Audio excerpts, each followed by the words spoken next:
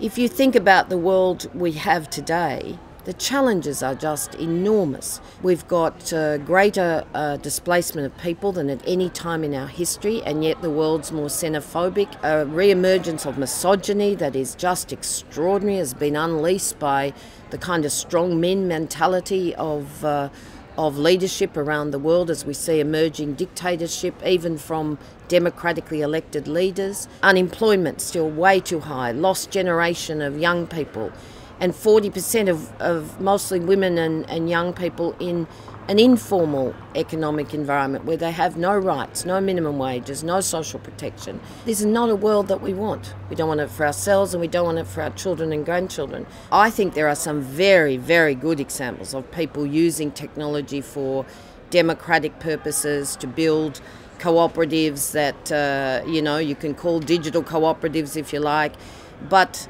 we still have a whole range of conflicts that are really about vested interests and how we make money at any cost versus how we actually keep things in balance with people, with their communities, with our planet, and indeed with uh, a global economy. It's not whether people are keeping up, it's whether we are actually thoughtful about shaping a future where people matter, people are at the centre of it. The World Economic Forum has generated a debate about technology the fourth industrial revolution is the framing it's given.